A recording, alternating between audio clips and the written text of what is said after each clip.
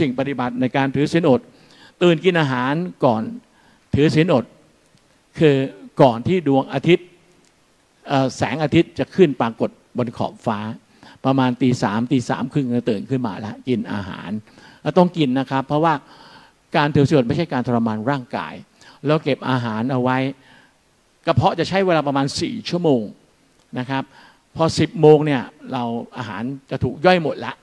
เราจะรู้สึกแรกๆคนถือศีลอดนะครับ ประมาณ 10โมง11โมงจะรู้สึกแสบท้องนิดหน่อย แต่พอผ่านไป 3 วันได้ปุ๊บทีนี้เราสบาย มันสบายมันไม่ต้องยุ่งเรื่องกิน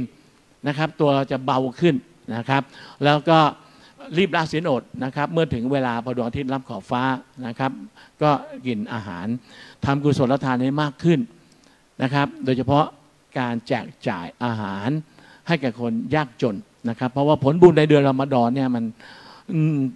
สิบเท่าถึง 700 เท่านะครับ งดเว้นการนินทาว่าร้ายการพูดหรือทำสิ่งไร้สาระ อ่านกุรานให้มากขึ้น แล้วก็กลางคืนจะมีกิจกรรมพิเศษ นั่นก็คือการละหมาดตะเราเวะซึ่งเป็นการละหมาดหลังละหมาดอิชานะครับให้ทำกลางวันอดอาหารกลางคืนมีการละหมาดเพิ่มเติมนะครับ แล้วก็การเอติกาฟนะครับคือการปลีกวิเวก ไปอยู่ที่มัสยิดนะครับ ในอิสลามไม่มีการปลีกวิเวกไปอยู่ในป่าในเขา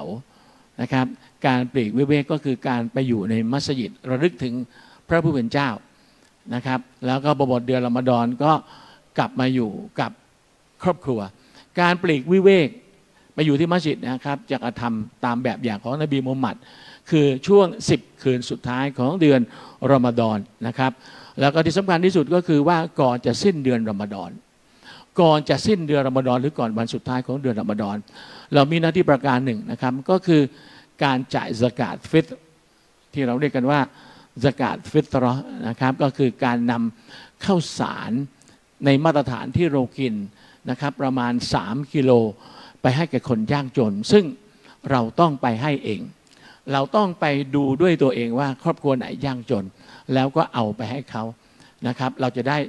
รู้สถานการณ์ความลำบากของเขา เมื่อเราเอาข้าวเพียง 3 กิโลไปให้เขา และเรารู้นะครับว่าเขาลำบากมากกว่าเรา จิตใจสงสารเนี่ยมันจะเพิ่มขึ้น จิตวิญญาณ ความสงสารเรามันจะเพิ่มขึ้น มันการยกระดับทางด้านจิตวิญญาณ เราจะให้ เงินบริจาคเงินทำบุญกับเขานอกเหนือไปจากข้าวสารจำนวน 3 กิโลที่ได้ให้แก่คนนั้นนะครับ เพราะฉะนั้นเดือนรอมฎอนเป็นการฝึกทางด้านจิตวิญญาณนะครับให้เกิดความสงสารนะครับเพราะนั้นก่อนที่จะสิ้นเดือนรอมฎอนใครถือสิ้นอดแล้วนะครับ ก็ต้องอย่าลืมเอาข้าวสาร